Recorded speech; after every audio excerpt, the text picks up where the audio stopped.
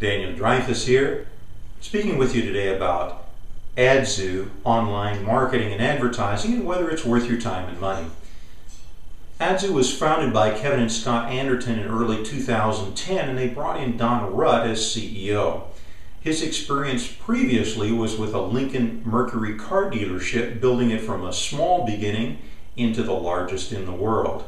Kevin and Scott's prior business experience was with founding Anderton Communications Marketing Incorporated, the first prepaid phone card company, and it grew to 50 employees, 22 million in sales, and 25,000 representative distributors.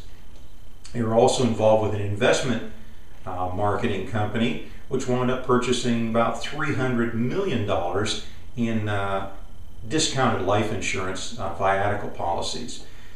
So the question is, is their current venture something that's worthwhile?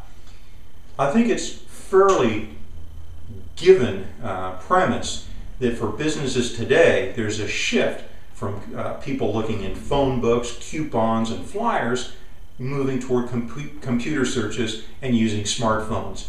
So, if nothing else, AdzZoo gets you on the playing field.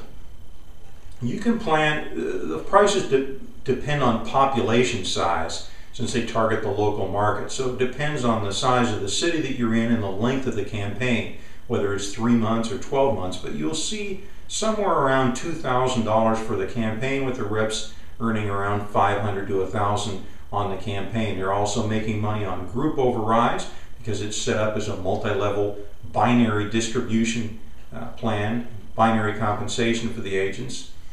They make money on group overrides, campaign initiation and renewals, and group bonus pools.